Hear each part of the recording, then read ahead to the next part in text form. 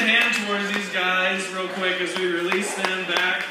And Lord, we thank you that you never stop loving us. And we, we thank you for the spirit of joy in, in our children and the, and the generation that's rising up for your name, God.